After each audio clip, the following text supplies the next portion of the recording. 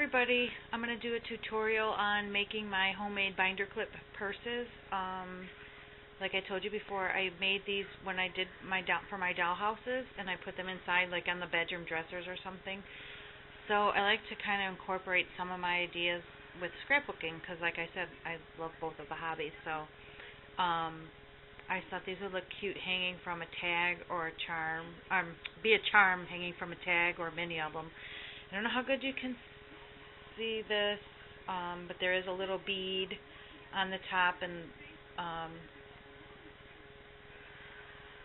little rick-rack for the handle. And I just use material, and you can see the sides. It looks like a purse.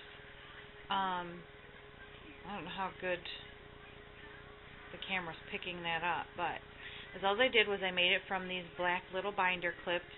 Um, they're three quarter inch binder clips. You can make them bigger if you want a bigger purse or smaller. I just feel that this is a good size. The first thing that you want to do is, and this one I made out of ribbon with the material, this um, animal print ribbon, and then I used, I just cut a piece of, I have this cool ribbon and it's golden black. So I just cut a piece of this off to use as the handle and then I glued an itty bitty gold bead on the top for the handle. But anyways, the first thing that you want to do is to, where'd my binder clip go? Is you want to remove these, and it's very easy to squeeze and pull it out. Put it to the side. Uh, sometimes you want to hold on to that because um, you're going to want to use, you can use this to put the glue in here and push in your fabric inside there. I don't know if it's better on the white or the dark, so I don't know.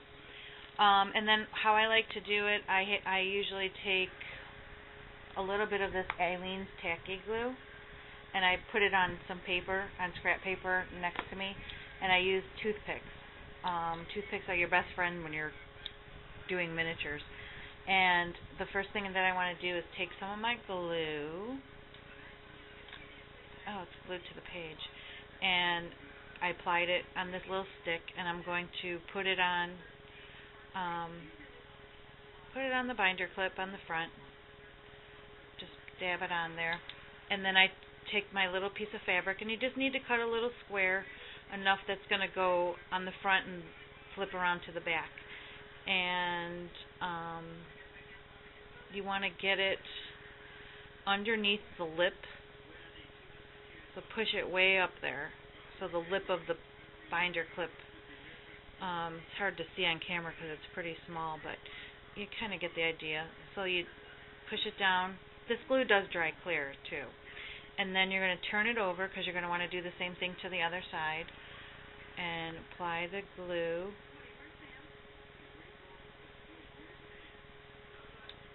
And then you can also put a little bit of glue on the bottom of your binder clip. And then you're going to fold, do it tight, and you might have to cut, I'm going to cut it because um, I got, it's too tall and I want it to squeeze under that lip. Okay, so now I'm going to wedge it under this lip, and the fabric will stretch, of course, but you want to make sure that it gets under there. You'll see what I mean if you try it. Okay, so now it's stuck on both sides. Is it easier to see in the dark? Darker background? Okay, so now the next thing that you want to do is you need to tuck these corners inside. And here I want to take a little bit of glue and not get it on the fabric, but stick it inside the binder clip in the triangle part. And just rub it in there like you're swabbing your throat when you have strep throat or something. Just jiggle it around or cleaning your ears or what have you.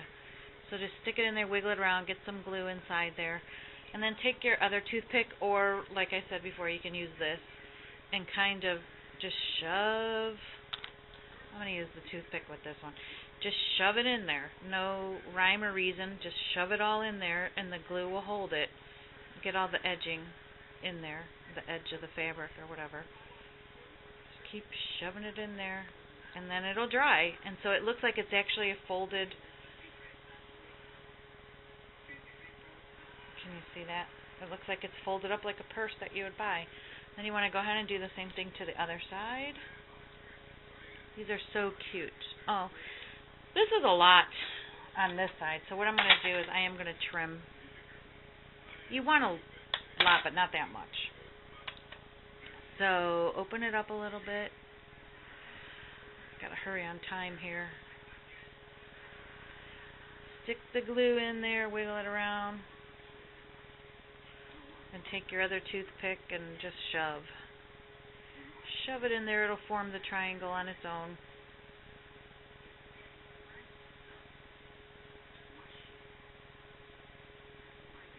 Perfect. See how nice that looks? So cute.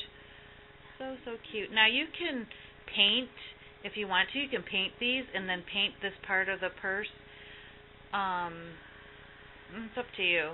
Now I'm going to, for my beat, for my handle on this one, I have this really pretty ribbon. Um, it's gold and red. Can you see that? So I'm just going to cut a little strip strip off just enough to make a loop for the handle. I'm actually going to cut it longer because I'm going to cut this frayed end off.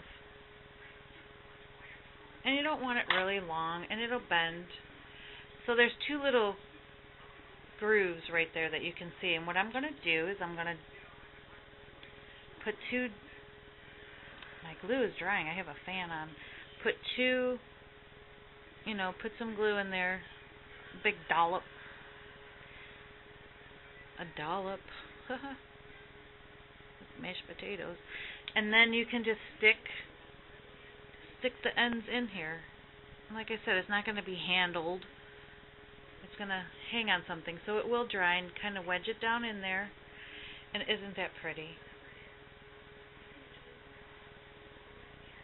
Isn't that gorgeous? And then to top it off, I take a little bead, a little gold bead, a teeny little bead, or you can use a pearl or whatever kind, you know, whatever fabric you're using. And I put the glue on there. Probably should have put the little bead. And that's like the clasp. Voila! And there's your little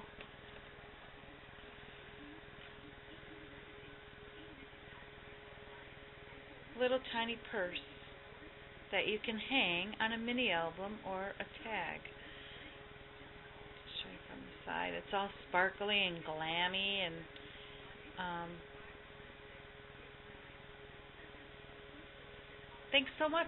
I hope you liked it and hope you um, create some of your own and uh, let me see some if you do. Use all kinds of fabrics and ribbons and anything your little heart desires. So hope you try it out and let me know what you think. Thanks. Bye bye.